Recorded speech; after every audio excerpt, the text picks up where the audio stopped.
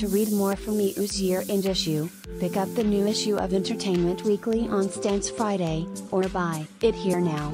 Don't forget to subscribe for more exclusive interviews and photos, only in EU.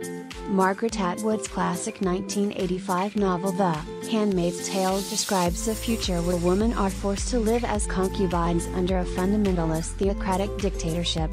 Its adaptation became one of the more urgent, disturbing, and compelling stories told in 2017. Much of its success is due to Elisabeth Moss, 35 who not only serves as a producer on the award-winning Hulu series but also stars as Offred, one of the last surviving fertile women. You make this thing in a bubble, and it's just been so exciting to see the outside world's reaction, says Moss.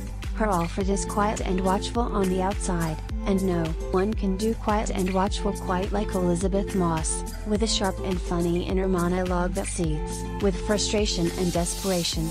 Elisabeth has always been a favorite of mine, but what she's done with this role.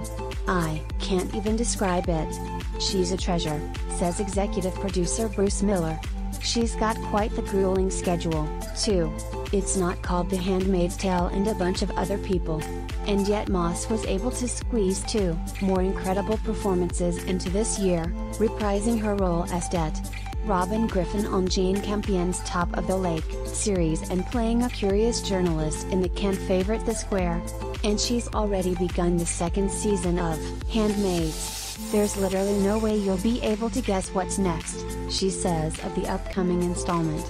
You can keep trying, but you'll never get there. Handmaid's Tale returns in 2018 on Hulu.